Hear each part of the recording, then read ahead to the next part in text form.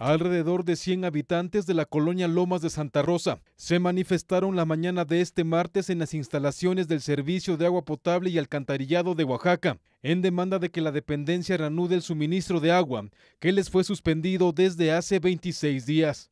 Este problema, que también afecta a otras 40 colonias ubicadas al poniente de la ciudad, se suscita a raíz de que habitantes de San Agustín Etla cerraron las válvulas del manantial que provee de líquido a la capital y municipios conurbados.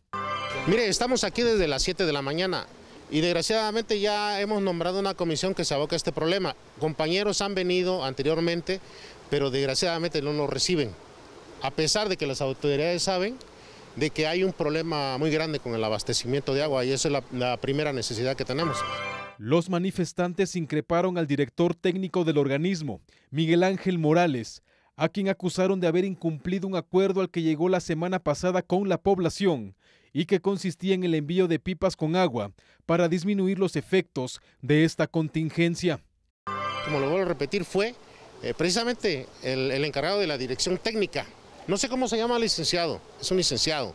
Este, fue a comprometerse a llevarnos unas pipas y después de una hora se nos informa de que las pipas no van a subir. que como el presidente del fraccionamiento Lomas de Santa Rosa tiene una, un, bueno, están desorganizados ahí desgraciadamente.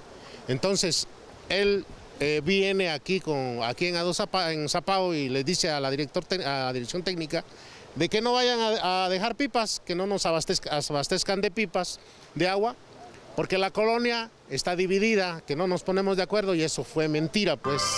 Por su parte, el funcionario sostuvo que las autoridades no pudieron suministrar el servicio debido a un conflicto entre los habitantes de la colonia popular y de un fraccionamiento situado en las inmediaciones, algo que también le fue refutado.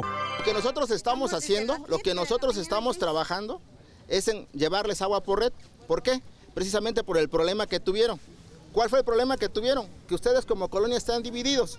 Hay un grupo del Convive y hay un grupo de Don Juanito. No, no, no, no, escúchame, escúchame, escúchame. No, no, no, aquí estamos todos, aquí por eso, estamos todos, por eso, aquí estamos todos, aquí estamos todos. Por eso. Ante ello, los ciudadanos inconformes llamaron a las autoridades a resolver esta problemática a la brevedad posible.